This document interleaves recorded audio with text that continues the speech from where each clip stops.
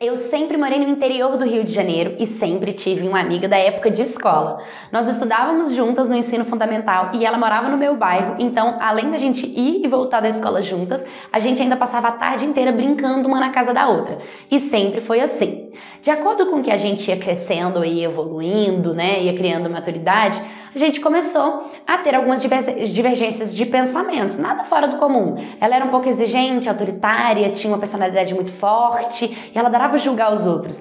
Ai, eu não aceito isso. Ai, nossa, porque esse relacionamento, Deus me livre. Ai, porque credo, porque que ela aceita isso na vida dela? Ela era muito assim, era toda dona da razão, sabe? Tipo, ninguém mudava a opinião dela. Às vezes a gente acabava discutindo, mas eu acabava cedendo.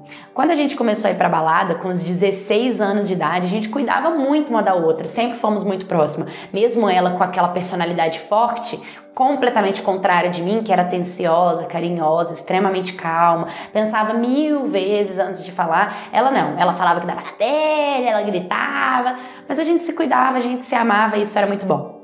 Até que um dia ela conheceu um rapaz que na época era MSN Orkut, né? Ela adicionou e começou a se apaixonar por esse cara. E ela ficava o dia inteiro falando com ele nas redes sociais. O dia inteiro, o dia inteiro, o dia inteiro. Até que, por conta da proximidade deles e da proximidade minha e dela, ela falou de mim para ele e tal, e ele me adicionou nas redes sociais. Recebi a solicitação dele no Orkut na época e no MSN. Perguntei para ela, alertei ela, perguntei se podia, ela falou que não tinha problema, eu aceitei. E desde então ele passou a interagir comigo. Beleza, sem nada. Quando foi que eu comecei a perceber que ele era um babaca? Por quê? Porque ele começou a jogar uma cantadinha pra cima de mim, sabe? Tipo assim, me dava moral, dava brecha pra mim, dava corda pra mim, entende? Acho que se eu fosse, ele, eh, se eu, se eu não prestasse, desse corda pra ele, a gente ficava, porque ele realmente não era fiel à minha amiga.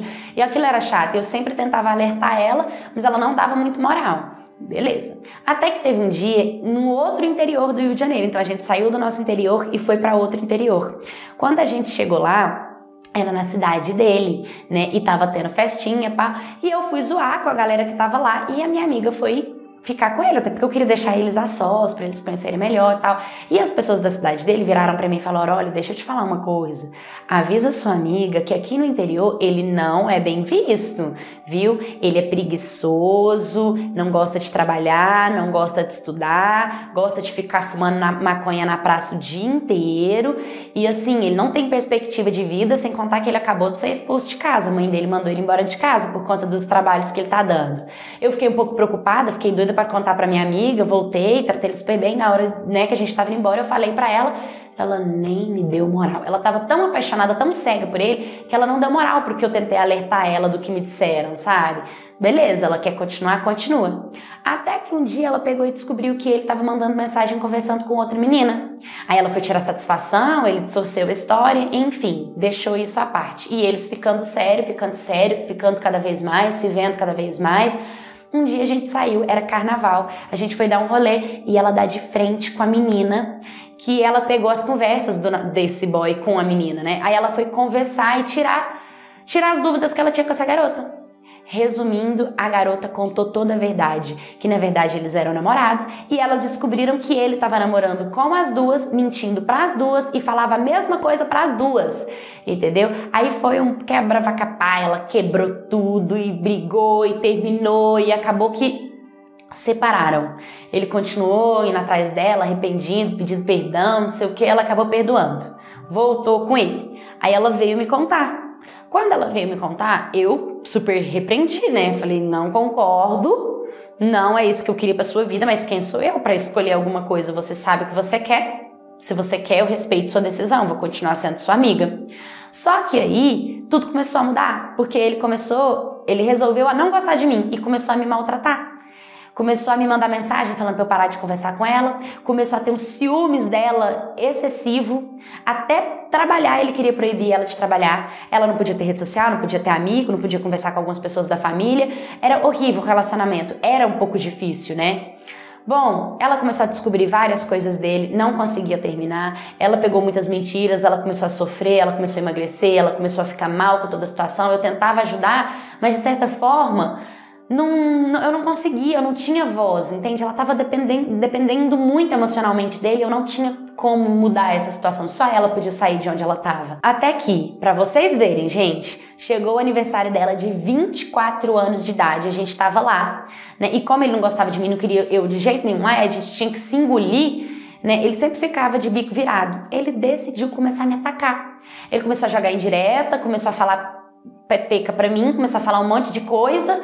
E eu comecei a responder. E ele começou a me atacar, começou a me xingar, começou a me ofender e eu comecei a responder. As ofensas virou aquela briga, aquela coisa. E foi horrível, sabe? E aí eu virei pra minha amiga e, tipo, quis uma, posi uma posição dela, ela foi e me mandou embora da casa. Cara, eu fui embora arrasada. Fui arrasada, sabe? Porque o relacionamento deles era horrível. Eles chegavam até a se agredir. Mas eu já não queria mais me meter nisso. Eu já não tinha mais nada a ver com isso, sabe? Então eu decidi me afastar. E foi quando eu fui me afastando, fui me afastando, e a gente foi parando de se falar, né? E ela foi ficando naquele relacionamento, naquela tristeza, e eu já não podia mais fazer nada por ela. Até que um dia ela me liga falando que realmente, finalmente, ela tinha conseguido terminar o relacionamento e se livrar. Eu não acreditei de começo, porque foram tantos anos da vida dela, sabe, presa a esse relacionamento, que quando fala assim de primeira, depois de tantas idas e vindas, com certeza a gente fica um pouco assim, será? Só que sim, graças a Deus ela conseguiu se livrar dele, ela conseguiu terminar o relacionamento dela e ela só conseguiu ir se envolvendo com outro namorado. Mas esse namorado faz super bem para ela e ele me adora. Graças a Deus a gente continua sendo amigas até hoje. Oi, oi, cats, tudo bem com vocês? Bom, essa é a história de uma amiga que presenciou o relacionamento sufocante, abusivo e tóxico, né? Viu como é sofrido, tentou dar a ajuda dela, mas essa história é uma prova viva de que quando a mulher tá dependendo emocionalmente de um homem, parece que o mundo pode cair, que ela não consegue separar, ela não consegue enxergar, ela não consegue falar chega, eu não quero mais, virar as costas e ir embora. Tem uma frase que eu acho muito legal quando o amor não estiver sendo mais servido, levante-se da mesa e vá embora.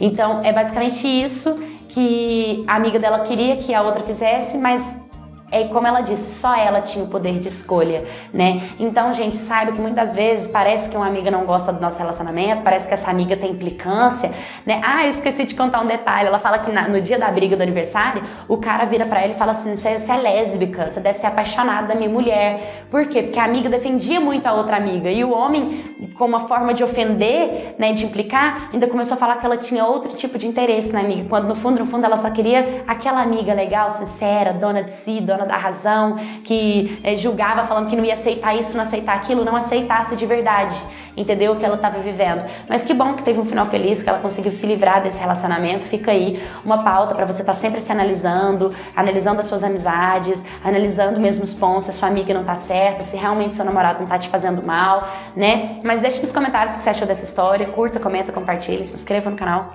Um beijo e até o próximo vídeo.